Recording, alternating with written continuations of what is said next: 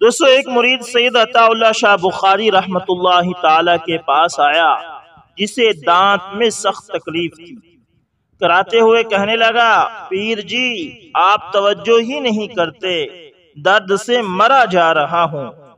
हज़रत सैयद अताउल्ला शाह बुखारी रहमतुल्लाहि ताला ने उसको आराम से चार पाई पर साथ बिठाया और अपनी नकली बत्तीसी उसके हाथ में देकर फरमाया कि तुम्हारे तो एक दांत में दर्द और इधर तुम्हारे पीर जी की तो लुटिया ही डूब चुकी है। बाबा जी, डॉक्टर के पास जाओ, इलाज कराओ, मैं दुआ कर दूँगा। अल्लाह अकबर अल्लाह अकबर। बुज़ुर्गों ने यह समझाया है कि इलाज भी ज़रूरी है। दोस्तों, इसी तरह हज़रत मौलाना मुजफ्फर हुसैन कांदेली रहमत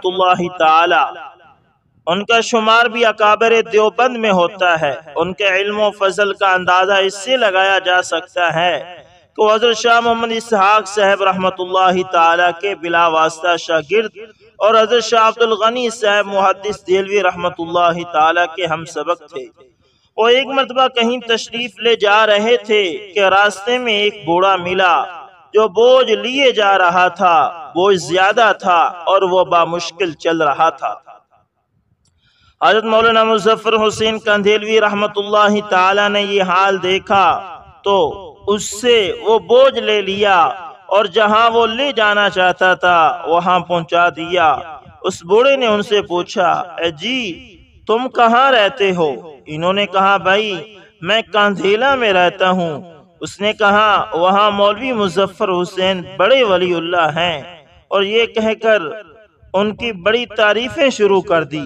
मगर मौलाना रहमतुल्लाह ताला ने फरमाया, और तो उसमें कोई बात नहीं है हाँ नमाज़ तो पढ़ ही लेते हैं। उस बूढ़ी मियाँ ने कहा, वाह मियाँ, तुम ऐसे बुज़ुर्ग को ऐसा कैसे कह सकते हो? मौलाना रहमत ताला ने फरमाया, मैं ठीक कहता हूँ। वो बूढ़ा इनके सर हो गया। इतने में एक और शख्स आ गया, जो मौलाना रहमत ताला को जानता था। उसने बूढ़े से कहा, भले मांस, मौलवी मुजफ्फर हुसैन यही हैं। इस पर वो बूढ़ा मौलाना से लिपट कर रोने लगा। अल्लाह अकबर, ये होते थे अल्लाह वाले। जो खिदमत करते थे। आज लिखा तो होता है, खादम आला, लेकिन खिदमत करने वाला कोई नहीं। दोस्तों, इसी तरह एक बहुत ही ज़बरदस्त और नसीहत अमूज दास्तान भी सुनते जाए। वो कहता है कि मैं और मेरी बीवी सुनार की दुकान पर गए, सोने की अंगूठी खरीदने के लिए कुछ अंगूठियाँ देखने के बाद मेरी बीवी को एक अंगूठी पसंद आ गई। कीमत अदा करके जैसे ही मैं बाज़ार से बहर निकलने के लिए मुड़ा, यानी दुकान से बाहर निकलने के लिए मुड़ा तो एक बार उस शख्स से मुलाकात हुई, जो कि मुझे जानते थे, लेकिन मैं उनको भूल चुका था। बस इतना याद था कि माजी में कभी उनसे मुलाकात हुई थी। सब बड़ी गर्मजोशी से मेरे गले मिले और सवालिया नज़रों से पूछने लगे, बेटा लगता है पहचानने की कोशिश कर रहे हैं आप? मैंने कहा, माजरत के साथ आपका चेहरा जाना पहचाना लग रहा है, लेकिन याद नहीं आ रहा कि आपसे कब मुलाकात हुई थी। वो थोड़ा सा मुस्कुराए और कहने लगे, मेरा नाम इकबाल है। वैसे लोग मुझे बड़ा भाई कहते हैं। आज से चंद साल कबल आप अपनी फैमिली के साथ हमारे घर आए थे। गुलबर्ग में हमारा घर है। शायद आपको याद आ गया हो। उनकी बात सुनकर मेरा तो सर ही चकरा गया। और मेरा रवैया बिल्कुल मुद्दीबाना हो गया और मैं बेख्तियार बोल पड़ा। सब याद आ गया बड़े भाई, सब याद आ गया। मैंने सवाल किया, आप अकेले ही हैं या आंटी भी आई हैं? बड़े भाई ने जवाब दिया, जी आंटी भी आई हैं और दूसरे भाई भी आए हैं। वो बैठे हैं, आप उनसे मिल सकते हैं। एक साइड पर देखा तो आंटी बुरका पहने बैठी थी और साथ में ही दूसरे भाई भी खड़े चेहरे पर मुस्कुराहट सजाए मेरी तरफ़ देख रहे थे। मैंने अपनी बेगम को कहा कि, आंटी को सलाम करो और बाद में उनका तारुफ करवाता हूँ। मेरी बेगम के आंटी को सलाम किया। आंटी ने बहुत ही अच्छे तरीके से मेरी बीवी के सर पर हाथ फेरा और फिर बहुत ही प्यारे अंदाज में मेरी बीवी को दुआएँ दी। मैंने आंटी को बतलाया कि ये मेरी बीवी है और ये मेरा तीन साल का बेटा है।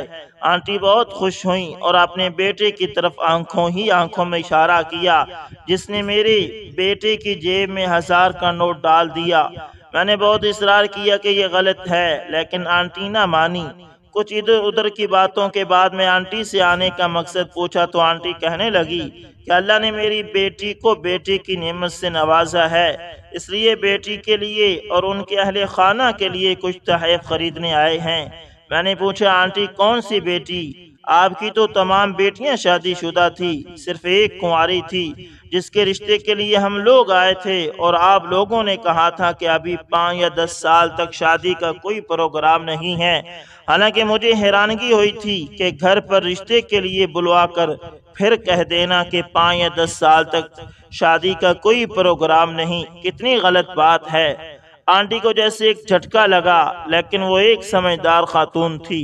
फ़ौरन ही समझ गई कि बात कुछ और है। पूछने लगी कि ये बात आपको किसने कही थी? मैंने कहा, वालिद साहब ने कहा था। तो वो कहने लगी, नहीं, बात दरअसल कुछ और थी, लेकिन आपके वालिद साहब ने आपका पर्दा रखा था। मेरे अंदर एक तजस्स पैदा हो गया कि मेरे वालिद साहब हमसे कैसे गलत बयानी कर सकते हैं, और मेरे वालिद साहब ने कभी भी झूठ नहीं बोला था। आंटी ने अपने बेटों को कहा कि मुझे मेरे बेटे के साथ अकेला छोड़ दें, और मैंने भी अपनी बेगम को कहा कि तुम थोड़ा सा वक्त मुझे दो, बच्चे को कुछ खिलाओ पिलाओ आंटी कहने लगी, बेटा, जिस दिन तुम और तुम्हारे अहले खाना हमारे घर, हमारी बेटी का रिश्ता लेने आए थे, मैंने उसी दिन तुम्हारे रिश्ते से इनकार कर दिया था, जो कि शायद तुम्हारे वालदेन ने तुम्हें नहीं बतलाया। तुम एक पढ़े लिखे और माशरे में एक कामयाब शख्स साबित हो सकते हो। मुझे पहले ही इल्म था और मुझे मुकम्मल यकीन था कि मेरी बेटी को भी तुम खुश रखोगे। लेकिन नए लोगों से रिश्ता जोड़ने के लिए सिर्फ़ लड़के को ही नहीं देखा जाता। बल्कि उसके मुकम्मल ख़ानदान को देखा जाता है, क्योंकि हमने मुस्तबिल में आपस में मेल जोल रखना होता है। इसलिए लड़के या लड़की के घराने वालों को देख कर मुस्तबिल का तयन किया जाता है कि ये घराना मुस्तबिल में कितना कामयाब रिश्ता निभा सकता है, क्योंकि ज़िंदगी में उतार चढ़ाव आते रहते हैं और इन हालात में हमको किसी अपने की ज़रूरत होती है। इसलिए हम किसी ऐसे से रिश्ता नहीं जोड़ते जो खुशियों में हमारे साथ हो, लेकिन हालात के ख़राब होते ही वो हमसे जुदा हो जाए। इसलिए मैंने उस दिन आपके वालिद साहब और वालिदा साहबा को साफ़ साफ़ इनकार कर दिया था। हो सकता है कि उन्होंने आपको दुरुस्त बात ना बतलाई हो। अगर किसी को किसी भी चीज़ की ज़रूरत पड़ जाए तो पीठ दिखाकर नहीं भागते, बल्कि ज़रूरत से ज़्यादा करके आते हैं। इसलिए मेरे बेटे, रिश्ते बनाना बहुत आसान है, लेकिन कामयाब रिश्ते चुनना और उनको निभाना बहुत मुश्किल है। कहीं एक ना अहल रिश्ता आपको इतना बड़ा नुकसान दे सकता है कि सारी उम्र की खुशियाँ गमों में तब्दील हो सकती हैं और कामयाब रिश्ता आपको ऐसा सहारा दे सकता है कि तमाम ज़िंदगी के गम खुशियों में तब्दील हो सकते हैं। इतनी बात करने के बाद आंटी उठकर चली गई। और मेरी आँखों के सामने मेरे वालदेन का चेहरा घूमने लगा। मेरी गाड़ी में मेरे वालिद की, मेरी गाड़ी मेरे वालिद की गाड़ी से बेहतर थी। मेरा लिबास मेरे वालिद के लिबास से बेहतर था। मेरे घर की जेब जीनत का सामान मेरे वालिद की घर से बेहतर था। मेरी बीवी हाथ में सोने की चूड़ियाँ और कंगन रखती थी, जो मैंने खरीद कर दिए थे। लेकिन मेरी माँ का सारा सारा जेवर बिक चुका था। मैं आज भी घर से दफ्तर और दफ्तर से घर, लेकिन मेरा बाप आज भी औलाद की जिम्मेदारियाँ निभा रहा था। मैंने आज भी अपनी बीवी के लिए सोने की अंगूठी खरीदी, लेकिन मेरी धुन में मेरी माँ का ख्याल क्यों ना आया? यानी मेरे जहन में मेरी माँ का आज भी ख्याल नहीं आया था कि जिसने मेरी शादी के लिए अपना जेवर तक बेच दिया था। मुझे अफसोस हुआ अपने आप पर कि मैंने अपने वालदेन से ज़्यादा अपनी ज़ात को तरजीह दी है। मेरे वालदेन जिन्होंने मुझे सब कुछ दिया और मैंने उनसे कुछ लेकर उनको खाली कर दिया, लेकिन कभी उन्होंने मुझसे कोई गिला या शिकवा नहीं किया। मेरे वालिद कल भी अजीम थे और आज भी अजीम है और मैं कल भी नाकाम था और आज भी नाकाम हूँ। आंटी की बातें सुनकर मैं मज़ीद परेशान हो गया और मैंने कहा कि आंटी, हम बहन भाई आपस में एक दूसरे पर जान छिड़कते हैं। खुशी और गम में बराबर के शरीक होते हैं। कभी ऐसा नहीं हुआ कि हम में से किसी को एक दूसरे से कोई शिकायत हो। अगर आप बुरा महसूस ना करें तो मैं सौ फ़ीसद दुरुस्त हूँ कि आपको हमारे ख़ानदान को परखने में गलती हुई होगी। आंटी ने एक सर दहली और कहा, बेटे, अभी तुम बहुत छोटे हो। जो चीज़ें मैं देख सकती हूँ, तुम उनकी तरफ़ कभी सोच भी नहीं सकते। मेरे इस इफ्सार पर आंटी ने कहा कि मेरा अंदाज़ा कभी गलत नहीं होता। चलो, मैं तुमको बतलाती हूँ। मैंने अपनी बेटी के लिए जितने भी रिश्ते देखे हैं, उनसे कुछ शरात रखी हैं। जो भी मेरी बेटी को देखने आए वो अपने तमाम बेटों और उनकी बेगमात को साथ लाए, जो सबसे अच्छे कपड़े हों, वो जेब जेबतन करके आए। घर की औरतें अपने मुकम्मल जेवरात से सज कर आए। अगर घर में हर फर्द की अपनी अपनी गाड़ी है तो वो अपनी अपनी गाड़ी में आए।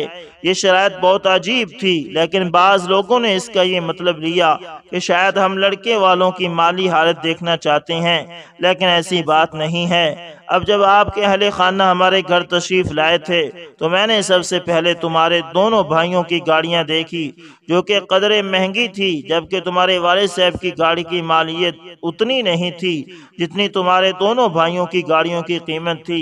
इस तरह फिर मैंने तुम्हारे वाले साहब के कपड़ों का जायजा लिया।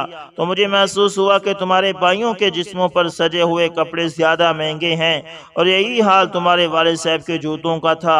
जब मैंने तुम्हारी माँ के जेवरात देखे तो उनकी मकदार बहुत ही कम थी, जबकि तुम्हारी दोनों भाभीियों के हाथ बाजू और गले जेवरात से सजे हुए थे। फिर मैंने जब तुम्हारी भाभीियों से पूछा कि घर का खाना कौन पकाता है तो तुम्हारी भाभीियों ने कहा कि हम सब अलहदा अलहदा पकाते हैं और तुम्हारे वालदेन का खाना तुम्हारी बहन पकाती है।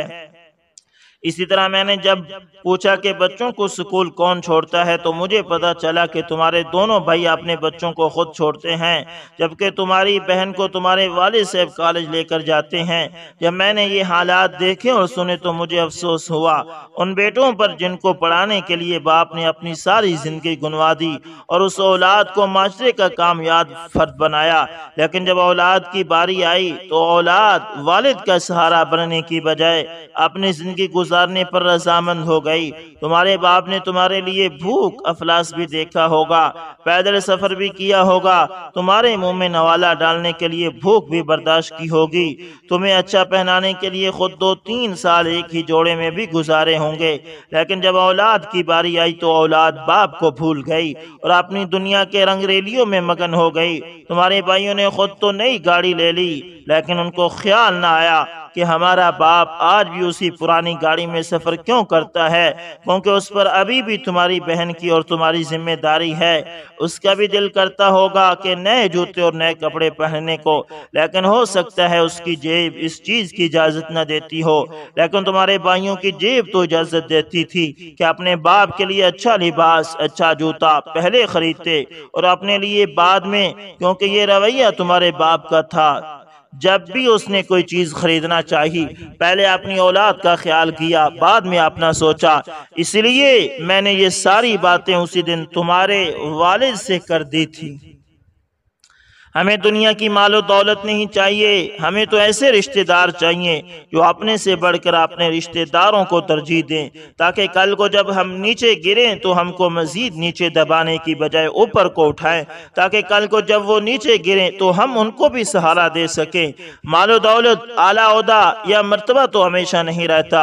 हमेशा जो साथ चलते हैं, वो सच्चे रिश्ते चलते हैं। और अगर रिश्ते बनाने में हमसे थोड़ी सी भी गलती हो जाए तो सारी ज़िंदगी भी तबाह हो सकती है और नस्लें भी तबाह हो जाया करती हैं।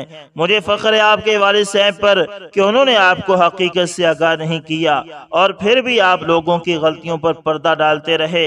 लेकिन देखना यह है कि औलाद अपने वालदेन का कितना ख्याल रखती है।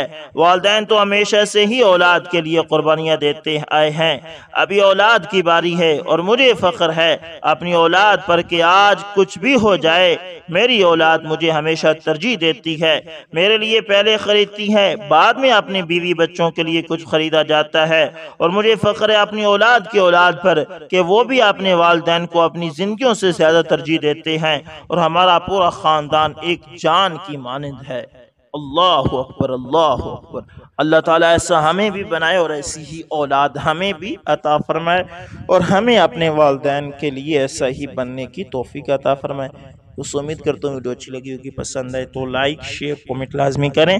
और अगर आप हमारे channel A S information TV पर नए हैं तो उसको लाजमी सब्सक्राइब करें और साथ में बेल के निशान को दबाना ना भूलना। ताकि हर नई वीडियो का नोटिफिकेशन दोस्तों आप लोगों तक पहुँचते रहे। मिलते हैं किसी नेक्स्ट अच्छी सी वीडियो के अंदर। तब तक के लिए अल्लाह हाफिज़। जजाकम्ला खैर।